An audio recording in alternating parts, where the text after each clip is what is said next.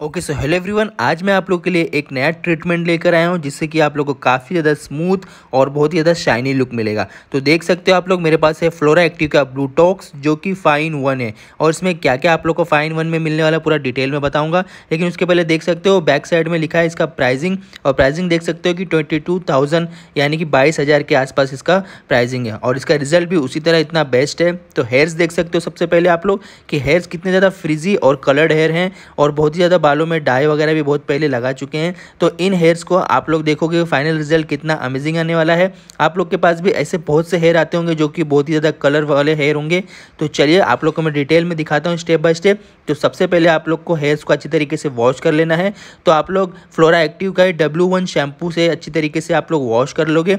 अगर आप लोग के पास वो शैम्पू नहीं है तो आप लोग कोई भी क्लिनजिंग शैम्पू जो क्लीरीफाई शैम्पू होगा, उससे अच्छी तरीके से वॉश कर लेना है। देन आप लोग को टावल ड्राई करना है, बालों को सुखाना नहीं है। और उसके बाद अब आप लोग देख सकते हो, हम प्रोडक्ट पहले निकाल रहे हैं। और प्रोडक्ट को आप लोग को देख सकते हो कि किस तरह से इसे शेक कर लेना है पहले अच्छी तरीके से। क्योंकि शेक करने से क्या होगा कि जो हमारा मिलरर्स जो नीचे की तरफ़ बैठा हुआ है, वो पूरा अच्छी तरीके से हमारे जो प्रोडक्ट है उसमें मिक्स हो जाएगा। तो उसे आप लोग के पास एक पंप रहेगा जो कि हमारा जो प्रोडक्ट है उसके साथ में ही मिलता है। उस पंप से आप लोग अपना प्रोडक्ट निकाल सकते हो, जो कि आपका फ्लोरा एक्टिव का ब्लूटॉक्स है।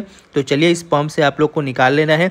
कम क्वांटिटी में ही पहले निकालना है, यानी कि 40 एम के आसपास निकालिए। अगर आप लोग को ज़रूरत लगे तो आगे और भी निकाल सकते हो बट पहले स्टार्टिंग में आप लोग कमी निकालिए, क्योंकि हमारा प्रोडक्ट जो है वो वेस्ट नहीं होना चाहिए। और आप लोग का जो हेयर सेप जैसे कि आप लोग ने शैम्पू किया है तो बस आप लोग ने उसे टावल ड्राई किया है। टावल ड्राई के बाद आप लोग को ब्लो ड्राई नहीं करना है। आप लोग का हेयर 50 परसेंट वेट होनी चाहिए और 50 परसेंट वेट हेयर में ही आप लोग को करना है। प्रोसीजर तो आप लोग को ये प्रोसीजर कैसे करना है एप्लीकेशन कैसे करना है, सारा कुछ आप लोग को डिटेल में बताएँगे। तो जल्दी से वीडियो को लाइक कर लीजिए और चैनल पर पहली बार विज़िट किया हो तो सब्सक्राइब कर लीजिए। तो हमने जो हमारा प्रोडक्ट निकाला है, उसे आप लोग को डैप डैप करते हुए आप लोग को प्रोडक्ट वो यूज़ करना है। पहले आप लोग का जो नेप एरिया है रूट को छोड़ते हुए वन इंच और नेप एरिया पे आप लोग को अप्लाई करना है। देन उसके बाद में बाकी के हेयर्स पर जो लेंथ है आप लोग का, वहाँ पर ब्रश से डैप डैप करते हुए पूरा अच्छी तरीके से अप्लाई करने के बाद में उसको फिंगर से बहुत ही बेहतरीन तरीके से आप लोग को मल्सीफाई करना है। मल्सीफाई आप लोग, जब आप लोग के हेयर्स वेट हेयर होंगे तो वो और भी आसानी से अच्छी तरीके से पूरा हेयर्स पर लेंथ पर लग जाएँगे। अगर ज़्यादा ब्लो ड्राई किए हुए हो या फिर ड्राई हेयर हो तो आप लोग का जो प्रोडक्ट है वो पूरी तरीके से पेनिट्रेट नहीं हो पाता। इसीलिए कोशिश करें कि फिफ्टी परसेंट आप लोग गीले बाल में ही करिए इसे। इससे क्या होगा कि आप लोग का जो प्रोडक्ट है, वो पूरा हेयर्स पर लेंथ पर अच्छी तरीके से अप्लाई हो पाएगा और जो हमारा प्रोडक्ट है, वो पूरा हेयर लेंथ पर पेनिट्रेट हो पाएगा और मॉइस्चर हमारे बालों में अच्छी तरीके से बना रहेगा, यानी कि ड्राइनेस की तरफ़ हमारे हेयर्स नहीं आएँगे। तो देखिए, लेफ़्ट साइड का हमने सेक्शन पूरा कंप्लीट कर लिया है। अब राइट साइड में भी आप लोग को उसी तरह से नेप को छोड़ते हुए, डैप डैप करते हुए लेंथ पर अप्लाई करना है प्रोडक्ट और फिंगर से अच्छी तरीके से मल्सीफाई करना है। तो चलिए मैं आप लोग को अब ब्लूटॉक्स में जो फाइन वन यानी कि जो पाँच चीज़ें इसमें बहुत ज़्यादा इंपॉर्टेंट जैसे कि हमारे प्रोडक्ट पर ही मैंशन किया हुआ है फ्लोरा एक्टिव का ब्लूटॉक्स, जिसमें कि ब्लूबेरी कॉम्प्लेक्स है फाइन वन फाइन वन यानी कि पाँच चीज़ें इसमें क्या है मेन जैसे कि टेनिनोप्लास्टिया है। स्ट्रेट लुक देता है हमारे बालों को। शाइन काफ़ी अच्छी बना के रखता है। नैनो प्रोटेक्शन है और एंटी फ्रीजनेस इफ़ेक्ट से दूर रखता है। तो चलिए, अब मैं आप लोग को इसे पूरा डिटेल में और अच्छी तरीके से करके दिखाता हूँ कि आप लोग को ये पाँच चीज़ें आप लोग के बालों में किस तरह से मिलने वाली है। लेकिन इसका प्रोसीजर भी आप लोग को बहुत ही प्रॉपर तरीके से और अच्छे से करना है, तभी आप लोग को एक फाइनल रिज़ल्ट मिलेगा। तो क्या प्रोसीजर है, कैसे मैं आप लोग को डिटेल में बताते जाता हूँ। पूरा ध्यान से देखिए और अच्छी तरीके से करिए, जिस तरह से मैं आप लोग को बता रहा हूँ।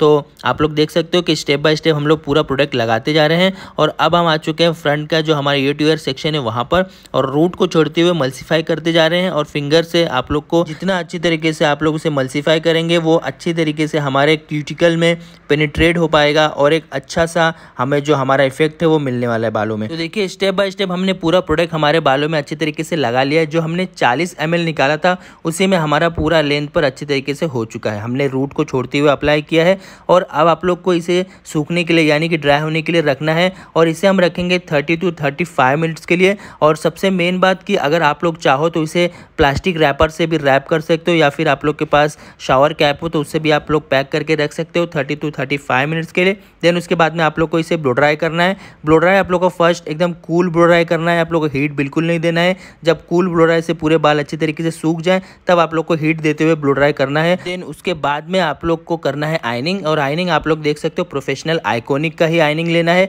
अगर कोई और दूसरा ब्रांड का लेना है तो वो भी लीजिए, लेकिन बेस्ट होना चाहिए आप लोग का आइनिंग मशीन जिससे कि आप लोग के बालों में एक अच्छा सा शाइन आए।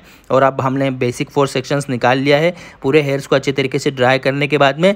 बेसिक फोर सेक्शंस पे ही आप लोग कभी भी वर्क करिए। और सबसे मेन बात कि जब भी आप लोग केमिकल वर्क करिए तो हैंड ग्लव्स पहनना बहुत ज़्यादा ज़रूरी है। क्योंकि काफ़ी ज़्यादा केमिकल होता है, जो कि आप लोग के नेल्स में जा सकता है। तो ये चीज़ें ध्यान में रखते हुए विदाउट ग्लव्स आप लोग को कभी ये केमिकल वर्क नहीं करना है। चाहे आप लोग कलरिंग करो, चाहे कोई भी ट्रीटमेंट करो या फिर स्मूथनिंग जो भी। तो अब आते हैं आइनिंग पर। आइनिंग का हमें टेम्परेचर कितना रखना है, किस तरह से आइनिंग करना है, सारा कुछ मैं आप लोग को बताता हूँ। तो सबसे पहले आप लोग को नेप का एरिया लेना है और बहुत ही पतले पतले सेक्शंस लेते हुए करना है। और जब आप लोग आइनिंग करोगे तो रूट से लेकर मिडल लेन तक पहले आप लोग को आइनिंग करना है। और कितना रिपीटेशन करना वो भी मैं आप लोग को बताता हूँ।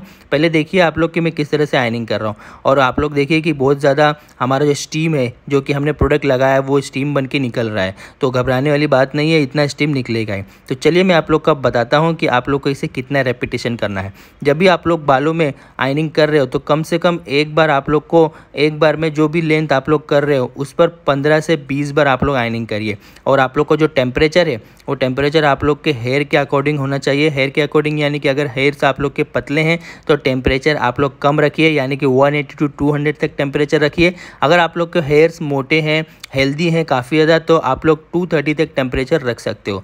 तो ये नहीं कि सब जगह सेम टेम्परेचर रखना है, आप लोग को टेम्परेचर आप लोग के हेयर्स के अकॉर्डिंग ही रखना है। तो देखिए, मैं स्टेप बाय स्टेप पतले पतले सेक्शंस लेते हुए आइनिंग करते जा रहा हूँ। और जैसे कि मैंने आप लोग को बताया कि एक लेंथ पर आप लोग को पंद्रह से बीस बार अच्छी तरीके से आइनिंग करना है। जितना अच्छे से आप लोग आइनिंग करोगे, आप लोग का जो प्रोडक्ट है वो क्यूचिकल के अंदर बहुत ही बेहतरीन तरीके से पेनिट्रेट हो पाएगा और आप लोग के बालों का एक परमानेंट रिज़ल्ट दे पाएगा, जो कि आप लोग को चाहिए। हमने इसे किया और काफ़ी बेहतरीन सा हमें रिज़ल्ट मिला है। अभी देखिए, आप लोग देख सकते हो कि इनके बालों में काफ़ी ज़्यादा वाइट हेयर्स और काफ़ी हाईलाइट्स वगैरह बहुत कुछ, जैसे कि मैंने आप लोग को पहले ही दिखाया था कि हेयर्स बहुत ज़्यादा फ्रिजी और थीन थे और बहुत ही ज़्यादा फ्रिजनेस था। जैसे कि हमारे प्रोडक्ट पर ही लिखा है, बालों में जो भी फ्रिजनेस है, उस इफ़ेक्ट को पूरी तरीके से क्लीन कर देगा और स्ट्रेट लुक देगा और बालों में अच्छी तरीके से एक शाइन और एक हेल्दी लुक आएगा। जिसमें कि इसमें है टेनिनोप्लास्टिया और नैनो प्रोटेक्शन जो कि आप लोग के बालों को काफ़ी ज़्यादा हेल्दी बनाने में मदद करता है। तो चलिए, जब आप लोग का आइनिंग पूरी तरीके से कंप्लीट हो जाए, तब आप लोग को पाँच मिनट के लिए वेट करना है, जो कि हमारा जो हेयर है, वो नॉर्मल टेम्परेचर में आ जाए, जो हमारा रूम टेम्परेचर उस टेम्परेचर में आने के बाद में आप लोग को करना है इसे वॉश वॉश के लिए आप लोग ले सकते हो फ्लोरा एक्टिव का ब्लॉन्डर शैम्पू आता है, उससे आप लोग को अच्छे तरीके से शैम्पू करके और फिर देन उसके बाद में कंडीशनर कर लेना है। बहुत ही प्रॉपर तरीके से शैम्पू कंडीशनर जब आप लोग का हो जाए तो बालों को अच्छी तरीके से ब्लो ड्राई कर लेना है। पहले कूल ब्लो ड्राई, देन उसके बाद में आप लोग को इसे देना है हीट ब्लो ड्राई। और फिर उसके बाद में पैंडल ब्रश से आप लोग ब्लो ड्राई करने के बाद में आप लोग का फाइनल रिज़ल्ट। तो ये मैं वॉश करने के बाद में डायरेक्टली आप लोग को दिखा रहा हूँ कि हमारा फाइनल रिज़ल्ट देख सकते हो कितना अमेजिंग सा आया है। और इनके बालों में जो कलर है, वो जो फ्रिजनेस थे, वो पूरी तरीके से क्लीन हो चुका है। आप लोग को ये ब्लूटॉक्स ट्रीटमेंट कैसा लगा? कमेंट्स करके ज़रूर बताना दोस्तों? और अभी आप लोग को और कौन से हेयर से रिलेटेड ट्रीटमेंट चाहिए वो भी बताइए। और जैसे कि हमारा सीरीज़ चल रहा है, वो step by step part two part आते रहेंगे। मिलते हैं नेक्स्ट वीडियो में। Bye bye take care